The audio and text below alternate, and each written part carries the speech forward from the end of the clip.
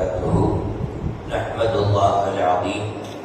نصلي ونسلم على الرسول الكريم. أما بعد. فقد قال الله سبحانه وتعالى في كلامه القديم وأوحينا إليه لتنبئنهم بأمرهم هذا وهم لا يشعرون. آمنا بالله. ശങ്കയ്ക്കും മികച്ച മര്യാദയ്ക്കും ഒരുത്താണ് മേലാത്ത പ്രയോജനങ്ങളെ பாசத்திற்குரிய சகோதரர்களே அருமை நாயகம் செல்லல்லாஹும் அழகிய செல்லும் அவர்களின் நல்பாக்கியங்கள் நிறைந்த உமத்துமார்களே குரானின் அழகிய வரலாறு நமக்கு சொல்லித் தருகிற பாடம் குரான் சட்டத்திட்டங்களையும் உள்ளடக்கி இருக்கிறது உதாரணங்களையும் நமக்கு எடுத்துச் சொல்கிறது. அதேபோல சம்பவங்களையும் அல் குர்ஆன் நமக்கு அற்புதமான முறையிலே பேசுகிறது. சம்பவங்களை பேசுகிற போதும் சரி உதாரணங்களை உவமைகளை எடுத்துச் சொல்கிற போதும் சரி இதுல அறிவாளிகளுக்கு சிந்திக்கக்கூடியவர்களுக்கு படிப்பினை இருப்பதாகத்தான் சொல்லும். ஒத்தில்கல் அம்சாலோ நத்ரிபுஹா லின்னாசி வமா யஅகிலுஹா இல்லல் ஆலிம். நாம் இந்த உதாரணங்கள் எல்லாம் மக்களுக்கு எடுத்துச் சொல்கிறோம். ஆனால் அதற்கு படிப்பினைகள் பெறுபவர்கள் அறிஞர் பெருமக்கள் கல்வியாளர்கள் புத்திசாலிகள் என்று அல்லாஹ் குறிப்பிட்டார்கள் அதே போல அழகிய வரலாறு என்பதாக குரானே பெருமையாக பேசுகிறார். யூசுப் அலி இஸ்லாத்தினுடைய வரலாற்றிலேயும் இந்த உம்மத்திற்கு அழகிய பல படிப்பினைகள் உண்டு. நேற்று ஒன்றை நாம் சொன்னோம். மக்கள் மத்தியில ஒரு குடும்பத்தில அன்பு தம்பிகளுக்கு மத்தியிலே பொறாமை என்பது வரும். அது நபிமார்களின் ஃபேமிலியிலேயே வந்திருக்கிறது என்று நாம் நினைவுபடுத்தோம் அதற்காக பொறாமைப்பட வேண்டும் என்று நாம் அதை அப்படி படிப்படியாக எடுத்துக்கொள்ளக் கூடாது படிப்பு பொறாமைகள் என்பது ஏற்படும். அதிலிருந்து நாம் விலகுவதற்கு முயற்சிக்க வேண்டும். நபிசல்லா அவர்கள் அதற்கான சிகிச்சைகளை சொல்லியிருக்கிறார்கள். பட் நாம் இங்கு என்ன விளங்குறோம் இதுவெல்லாம் யதார்த்தமான நிலை. அப்ப பொறாமைகள் ஏற்படாமல் இருக்க பொதுவாக இது வந்து குடும்பம் அல்ல சகோதரர்கள் வேலையில் உண்டான நண்பர்கள் இப்படியவர்களுக்கு மத்தியில் வாழும்போது பொறாமைகள் ஏற்படாமல் இருக்க நமக்கு இருக்கும் ஞாபகத்துகளை நாம் முடிந்தவரை மறைக்க வேண்டும். சிலதை நாம வெளிப்படுத்தத்தான் வேண்டும். பொருளாதாரத்தை அல்லாத தந்திருந்தா தர்மங்கள் சக்காத்துகள் வழியாக நம்ம வெளிப்படுத்தத்தான் வேண்டும். அதை உள்ளே வச்சிருக்க முடியாது. மற்ற வேற ஏதேனும் நமக்கான ஒரு ஒரு தனிப்பெரும் சிறப்புகள் அல்லாத நமக்கு வழங்கியிருந்தால் அதை நாம மறைக்கிறது தப்பில்லை. ஹரீஸ்ல இருக்குது இஸ்தஈனு பி அல்லாஹி நீங்கள் உங்களுடைய தேவைகள் சிலது நிறைவேறிக் கொள்ள மறைப்பதை கொண்டு அல்லாஹ்விடத்தில் உதவி தேடுங்கள். அதாவது கொஞ்சம் அதை மறைச்சு வச்சுக்கிறங்க யாரும் பொறாமை கொள்ள மாட்டாங்க பொறாமை கொள்ளாமல் இருந்தால் அந்த காரியம் நமக்கு கைகூடும் என்று அருமை நாயகம் சொல்லாத நம்ம சொல்லித்தரார் இரண்டாவது படிப்பினை இன்று நாம் தெரிந்து கொள்ள வேண்டிய படிப்பினை பொறுமையை மேற்கொள். யாக்கூப் அலி இஸ்லாம் அவர்களும் பொறுமையாக இருந்தார்கள். மகன் தொலைந்து விட்டதாக மகனை ஓனாய் தின்று விட்டதாக வந்து சொன்னார் அதுல பாருங்க அந்த சகோதரர்கள் கிணத்துல தூக்கி போட்டாச்சு. போட்டுட்டு அவர்கள் சட்டையை கலக்கிட்டாங்க அந்த சட்டைகள் அப்படியே ரத்தங்களை நல்லா தெளிச்சு அப்படியே ரத்தக்கரையோடு கொண்டு வர்றாங்க. ரத்தக்கரையோடு கொண்டு வர்றாங்க. வெளிப்படையில் பார்த்தா நமக்கு என்ன தெரியுது? ஆஹா நல்ல அற்புதமான பிளான். இந்த ஓனாய் தின்றதுங்கிறதுக்கு இதான் தெரியும் இதான் பெரிய ஆதாரம் எங்க ரத்த சகதியா இருக்குதுல்ல. அப்படி கொண்டு வந்துட்டாங்க. கொண்டு வந்து யாபு அலி இஸ்லாம்கிட்ட கொடுத்தாங்க அவர் பார்த்த உடனே புரிஞ்சுக்கிட்டாரு. சத்திக்கிறான் இது வந்து உண்மை அல்ல இது இது ஏதோ நடந்திருக்கு. இவன் வந்து ஏதோ செஞ்சிருக்கிறான். செஞ்சுட்டு அதை மறைக்கிறதுக்கு நீ பண்ணியிருக்கான். எந்த ஊர்ல ஓனாய் வந்து சட்டையை கிழிக்காம அவனை மட்டும் சாப்பிடும்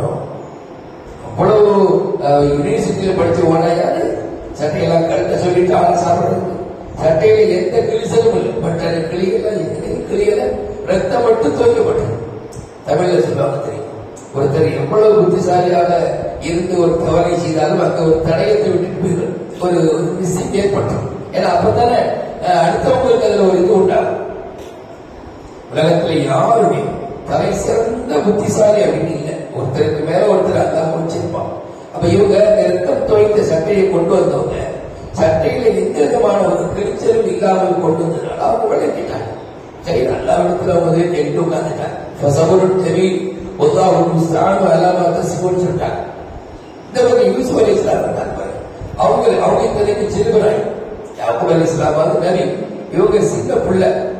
அவங்களை தூக்கி போடும் போது அவங்க வந்து கத்தல சத்தமிட கூச்சல் எதுவுமே செய்யும் ஏன்னா அவங்களுக்கு ஒரு இது இருந்துச்சு.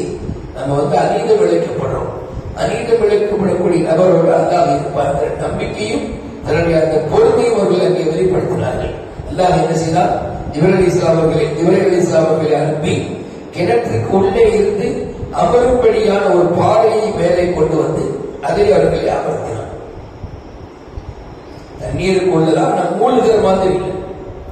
தண்ணீருக்கு மேல அப்படியே அந்தரத்துல ஒரு பாறை அல்லாஹ் வைக்கிறார் கீழே கிடந்த ஒரு பாறை அப்படி கொண்டு வந்து தண்ணீருக்கு மேல அப்புறம் வச்சு அவங்க அப்படியே உட்கார்ந்து இருக்கிற மாதிரி. இப்படி ஒரு ஏற்பாடு அப்ப இதுக்கு காரணம் என்ன அப்படின்னா அவர்களிடத்தில் இருந்த பொறுமையும் அல்லாவின் மீது உள்ள நம்பிக்கையும் இவன் அத்தா உபா சிக்கந்தரியு என்கிற ஒரு அஹ், சூஃபி ரஹமத்துல்லாஹி சொல்றாங்க. ரொம்பமா காலத்தில் மினனோ ஃபில் மிஹனி சில சமயம் அல்லாஹ்வின் விசேஷ உதவிகள் துன்பங்களின் போதுதான் வெளிப்படும். நல்லா இருக்கும்போது அல்லாஹ் நமக்கு விசேஷமான உதவிகள் செய்யப்படும் மற்றது சாதாரணமான உதவிகள் அல்லாஹ் செஞ்சுக்கிட்டு இருக்கோம் ஏதாவது விசேஷமா உதவி வேணும்னு சொன்னா நமக்கு ஏதாவது ஒரு துன்பங்கள் வருது பார்த்தீங்களா அந்த நேரத்தில் நாம பொறுமையா இருக்கும் பார்த்தீங்களா அந்த நேரத்தில் கிடைக்கிறது அந்த ஸ்பெஷல் உதவி அல்லாஹ் பாருங்க ஜிபரல் இஸ்லாமுகள் மூலமாக அல்லாஹ் அவர்களை அப்படி மேல தூக்கி வச்சார் அப்ப இங்கே நம்ம ரெண்டு செய்தியை பார்க்கணும் ஒண்ணு பொறுமையாக இருந்தாங்க கத்தி கூச்சல் இடல நம்மளா இருந்தா ஒரு சின்ன ஆபத்திற்கும் கூட ஒரு ஒரு கத்தி கூச்சல் இட்டு ஒரு சின்ன விஷயத்தை பெரிய கவனமாக இது நடந்தது பெரிய விஷயம் தான் ஆனா அல்லாஹ் அவருடைய உள்ளத்துல பொறுமையை போட்டிருந்தால் பொறுமையோடு அவர்கள் இரட்டத்தில் உள்ளே செல்கிறார் மேல இருக்கக்கூடிய சகோதரர்கள் நினைக்கிறாங்க நாம இன்னைக்கு யூசுஃபினுடைய கதையை முடிச்சிட்டோம். யூசுஃபை நாம பள்ளத்திற்கு அனுப்பிட்டோம் அப்படின்னு நினைச்சாங்க. அந்த அவர்களை மேட்டிலே அமர வைத்து மென்மேலும் உயர்ந்த அந்தஸ்தை தருவதற்கான ஏற்பாடுகளை. எப்பொழுதும் ஒரு மனிதர் அநீதமாக தாழ்த்தப்படுகிற போது அல்லாஹுவால் உயர்த்தப்படுவார். இது அல்லாஹுடைய நியதி பாலிசி சொல்லுவாங்க மற்றவாறு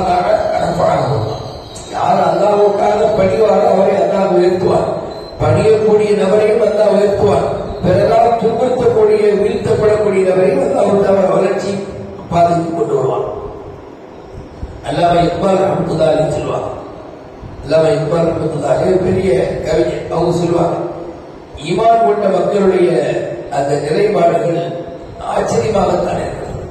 அவர்கள் ஒரு பக்கம் மூழ்கிறார்கள் இன்னொரு பக்கம் எழுதி விடுகிறார்கள் மூழ்கிற மாதிரி தெரியும் தண்ணீருக்குள். ஆனால் படார் என்று எழுந்திருத்து விடுவார்கள் அதுபோல மொமினான் அடியார்களுடைய வாழ்க்கையில் அல்லாஹால வீழ்ச்சியை கஷ்டத்தை தருவது போல தெரியும். ஆனால் அல்லாஹ் இன்னொரு பக்கம் அவருக்கு அல்லாஹ் வளர்ச்சியை வைத்தது குரான் ஷரீஃப்ல அப்படித்தான் சொன்னான் இன்ன மகள் அவசரி உசரம் கஷ்டம் என்று வரும்போது அங்கே உங்களுக்கு அல்லாஹ் லேசான வாழ்க்கையை வச்சிருப்பான் எதுவுமே இல்லாம இலகுவான வாழ்க்கை அனுபவிச்சுட்டு போறதுக்கு சிரமம் தான் துனியாவுல நமக்கு அல்லாஹ்வுடைய உதவிகள் ஒத்தாசைகள் வேணும்னு சொன்னா நாம ஒன்று அல்லா இடத்துல கஷ்டத்தை கேட்கக்கூடாது ஆனால் வருகிற சிரமத்தின் போது கொஞ்சம் சபரு வெளிப்படுத்தணும் ஏன்னா சபருங்கிறது ஒரு பொதுவான வார்த்தை அதுக்கு கீழே பல கிளைகள் உண்டு யுத்த காலத்தில் ஒருவர் பொறுமையோடு நின்றால் அவருக்கு பெயர் வீரன். அவர் அவரிடத்தில் உண்டான தன்மைக்கு பேர் வீரம்.